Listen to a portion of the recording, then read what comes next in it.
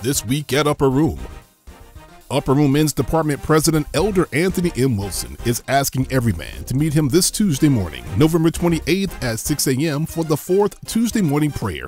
The number to participate is 701 791 9304, and an access code is not required. It is also not necessary to announce your arrival to the call, so be sure to mute your phone when joining.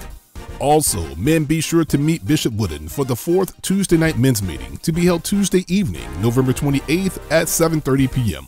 Please plan to meet in the sanctuary. Everyone is invited to Tuesday night service to be held November 28th at 7:30 p.m. in the multi-purpose room. The speakers will be Evangelist Margaret Hamilton, Evangelist Shannon Prevost, and Evangelist Deborah Thomas.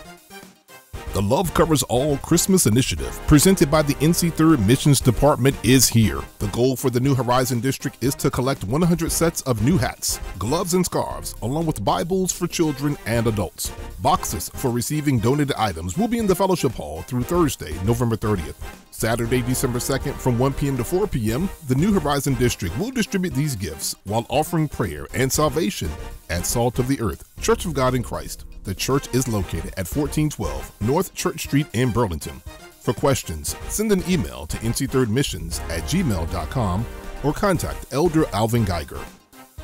Join the Upper Room Church of God in Christ every Sunday at 11 a.m. and Thursdays at 7:30 p.m. for the live stream of our services on Facebook Live and YouTube Live.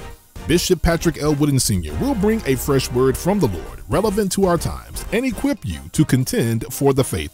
Thank you to our viewers throughout the United States and abroad for your weekly support of our broadcast.